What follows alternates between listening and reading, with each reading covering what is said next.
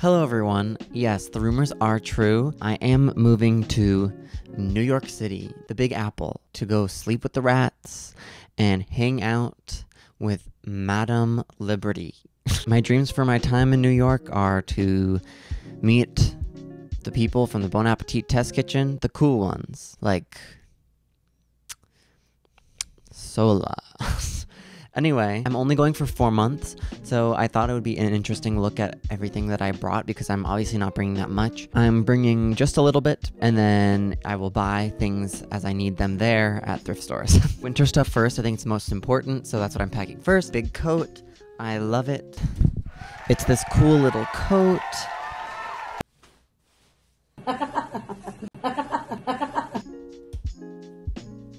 Have to put on socks so I don't give the foot people anything to work with.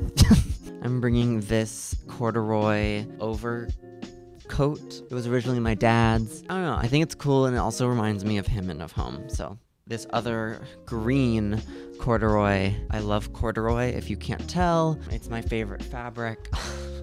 Pretty cool. This corduroy multicolored long sleeve shirt. I love corduroy. Pants. Who's excited? Gray corduroys. That's it. That's all I'm bringing.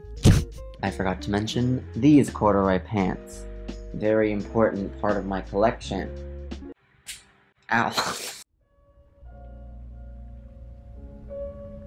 Hi everyone, welcome to the part of the video where I complain. no, I'm actually really, really excited to be moving to New York. I know you can't tell by my monotone voice from like I'm really really excited. But really, I am excited. I'm excited to obviously get out of my parents' house. No one's old, you know, to be living with their parents, especially right now during coronavirus, but I feel a little bit old. But I am sad. Um, I'm sad to be leaving. I feel like I've learned a ton about myself during this time of contemplation, and it's been a really formative time. I'm just gonna miss my parents a lot, and I know that that's weird because I shouldn't live my life like being concerned about caring for my parents. they're able to care for themselves. It's not like they're old. I don't know. I just know they've really enjoyed having me home, and I have enjoyed being here. Secondly, I'm leaving behind this really awesome, awesome guy I've been seeing. I feel like we really get along, we're really compatible, and I always do this to myself when like something good is happening, I just end up running from it. Since we started seeing each other, I've been telling him like I think I'm gonna leave. So it's not like he ran me out of town. But it's funny, it's just like every time I think there's something good in terms of my relationship life, I end up moving. It's true. I had a really good thing going in Boston when I was there and I moved, and now I'm doing it again. What the heck? and lastly, a part of me wonders, you know, am I just running away from my problems again? Instead of dealing with them, you know, my lack of self-awareness or or my over anxieties or my inability to place myself in this world. I wonder if I'm just running from my problems, but they'll catch up to me you know? But I think it's normal to be a little bit scared when you're moving anywhere. I am really excited. I'm super excited. I'm living with my best friend Julia. I am super excited that I am going to be, well, there's a lot of things to be excited for about New York, but these are just some of my. Maybe you're doing the wrong thing, Jack. But no, I think I am doing the right thing. But the right thing isn't always easy. So that's it for me. Signing off. I'll see you guys at the airport. Mom, I'm leaving. Don't leave. Are you gonna miss me?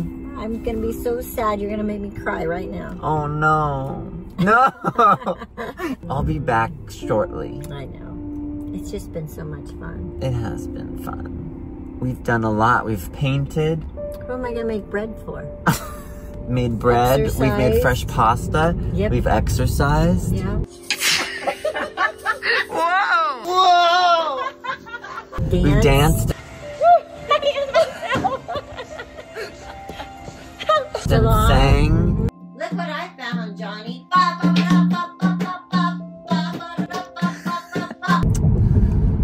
Well, I guess that's about it. I was like, Mom, are you really sad? And she was like, Yeah. And I was like, Don't make me feel bad. And she goes, I'm excited for you to be out of here. I was teasing. I didn't want to make you feel bad. Thank you. There he goes. There he goes. Bye bye.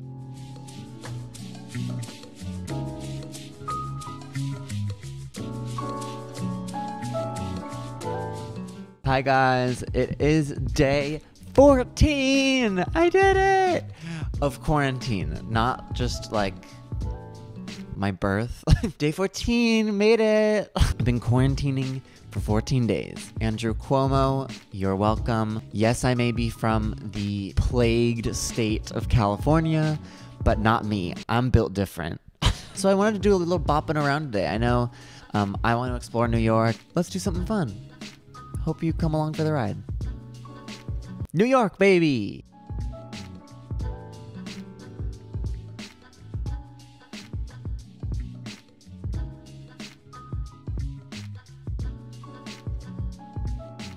Hello, everyone. I'm here in New York City. Hello, everyone. I too am here in New York City. If you guys don't know, this is my friend Carson from San Diego. We grew up together. Well, The latter half of our growing, I think, was together. Yeah. First half, separate. we're here on a rooftop in New York. We don't live here.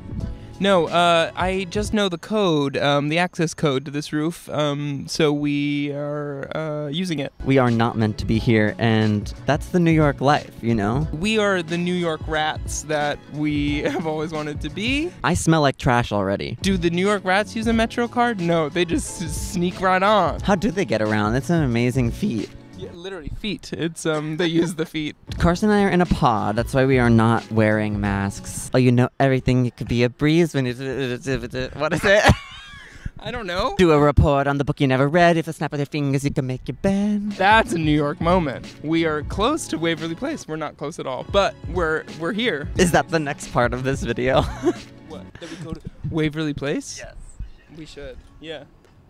I think there might be an actual like su- it's a sandwich shop, right? That they own. Yeah. Yeah, I think there might be a sandwich shop on Waverly that is what they have based it on. I know exactly what we're doing next.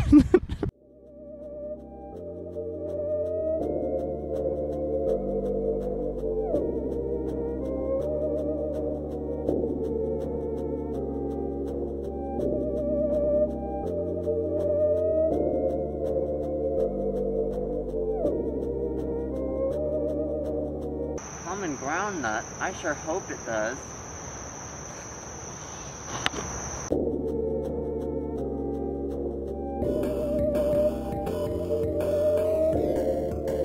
We're here in the BB. What is it? BBG. BBG, and I don't know if you can hear.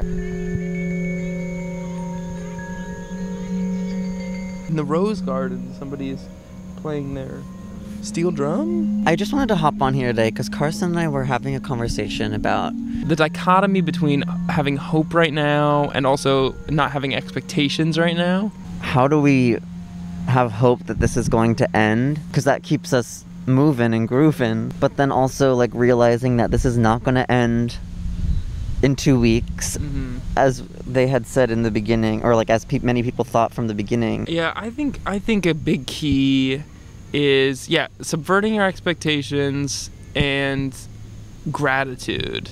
I think that Mhm. like even being being able to be somewhere like this right now in it, you know it, it makes us open our eyes to the things that like we can do and that like are really like special Special. and simple mhm. and maybe Yeah. things that we wouldn't do you know that we would just neglect Yeah. Yeah, I've been trying to do gratitude like every night when I go to sleep. Um, jeez, I'm in pain.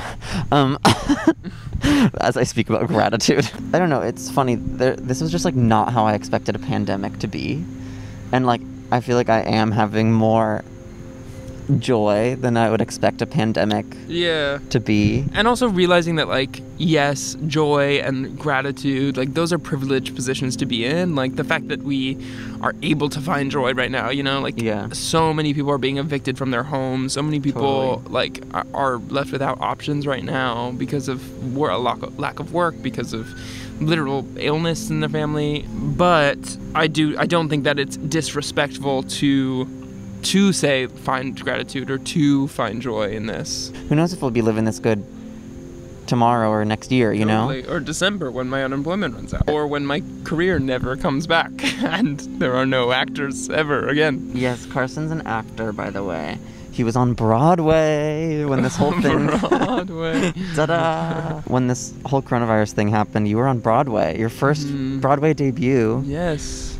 and now, now what? now I'm debuting some Easy Mac in the kitchen.